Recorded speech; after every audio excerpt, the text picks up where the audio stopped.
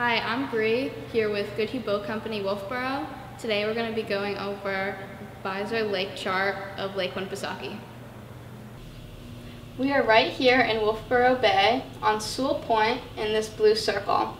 Anywhere else you see a blue circle is where you can publicly dock, fill up gas, or use the restroom. This green dotted line is the path of the Mount Washington. It is the safest route across the lake because it is the deepest. If you see a black diamond or red diamond, that is a buoy marker. If you see a small asterisk, that is um, a known rock. Any red X's mean do not enter. If you are leaving Wolfeboro Bay, do not go in between Melody and Keniston Island. It is very rocky. If you're coming down towards Alton Bay, watch out for Roberts Cove and beware of Ship and Moose Island.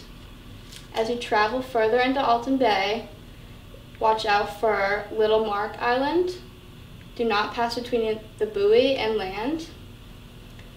If you're coming towards Winter Harbor, watch out for Parker Island. And as you enter Winter Harbor, do not get too close to shore at the end. Coming into the back of Winter Harbor, do not enter the basin. As you leave Winter Harbor and head towards Moultonborough Bay, beware of Middle Ground Shoal.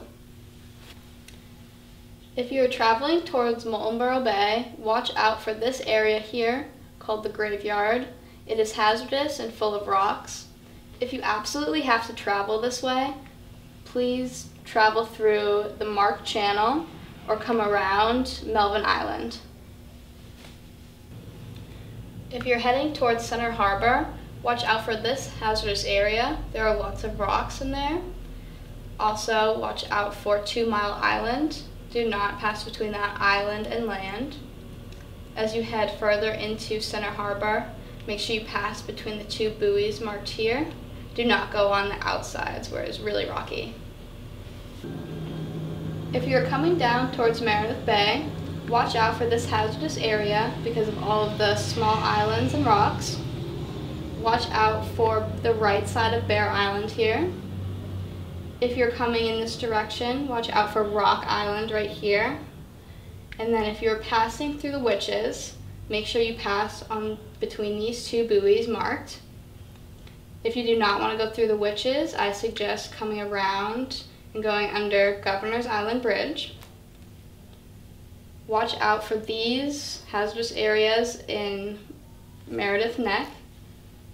If you're coming down towards Paugus Bay, you have to go under the bridge here, and then just watch out for these two small islands here.